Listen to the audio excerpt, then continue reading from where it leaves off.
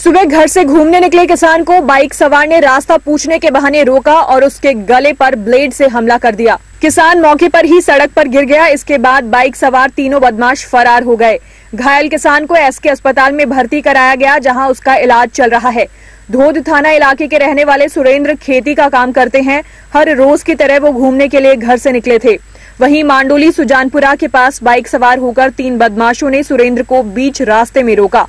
सुरेंद्र से सुजानपुरा जाने का रास्ता पूछने लगा। जब सुरेंद्र ने उन्हें सुजानपुरा जाने का रास्ता बताया, उसी दौरान बाइक पर सवार एक युवक ने उसके गले पर ब्लेड से वार कर दिया, जिससे सुरेंद्र के गले से खून आने लगा और वो बेहोशी की हालत में सड़क पर गिर गया। घटना के बाद बाइक सवार तीनों बदमाश मौके से फरार हो गए।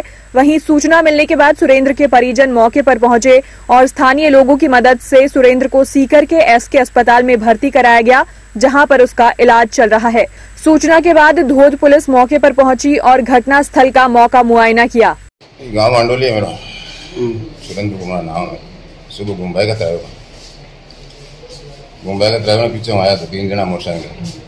म्हणून पाहिजे की नाटक पण सगळं होतं अशी मग अशी मी रोडवर घुमरी म्हणून गाडी महाराष्ट्रात कहीं करेला काय नाही फिर गला पे वार कर दिया हाँ वार के बाद का रुका भी पाँच दस बीस सेकंड रुका बस कोई पुरानी कोई रंजिश है नहीं नहीं कुछ भी नहीं मेरा किसी को गाली भी नहीं दिया कभी किसी को भी नहीं दिया कोई पोस्ट वोस्ट तो नहीं डाली ना आपने क्या की पोस्ट ये पोस्ट वोस्ट आज जा रहा है फेसबुक नेट चला ही होना चला ही होना मतलब ये अचानक ही कर दिया उन्होंने हमने। क्या घटना थी? सुबह की थी। सुबह साढ़े छः बजे टाइम था। भ्रमण करने के लिए आया था। आता है, डेली आता है, कभी नहीं आता है।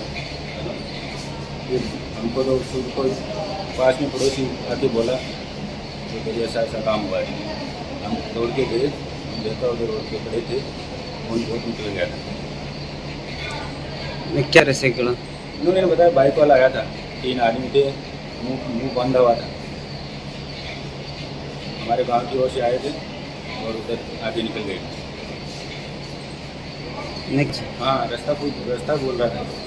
रास्ता पूछा कि कौन से गाँव जा रहा है रास्ता। फिर? फिर क्या वो आया मारपीट किया। मेरा नाम मनोज कुमार। क्या नाम है मनोज कुमार। मनोज कुमार।